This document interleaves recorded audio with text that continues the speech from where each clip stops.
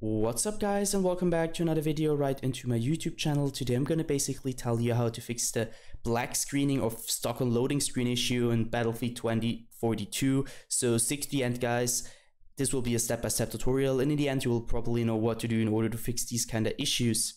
Before we start on to the video, I just want to you guys know, let you guys know that, that I would really, really appreciate it if you would just leave a like, a comment, or a subscription right into my YouTube channel. It would really make my day and help me out as a little YouTuber as I am.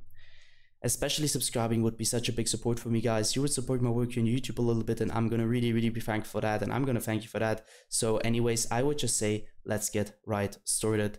So in order to fix the black screening or stock on loading screen issue, the first thing you want to do is simply navigate to the bottom left corner of your screen, click onto the Windows symbol and use the Windows search function in order to find Windows Defender Firewall. So just simply type in Windows Defender Firewall.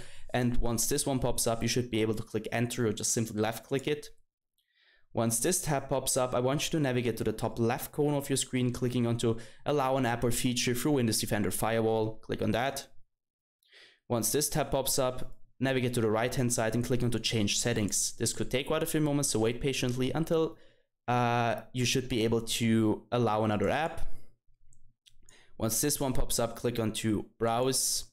And now you need to search for Battlefield 2042. I can't really tell you where it is located because on every single, single PC is located somewhere different. So just, just search it. And once you found it, click on open, click on add, and you should be able to fix this issue by doing that yeah guys that's it for the video i hope i could actually help you out with this one if it was like that just leave a like a comment or a subscription and i'm really sorry if i couldn't help you guys but i'm just trying to do my best in order to help you out either way i hope you guys have a wonderful day see you at the next one and bye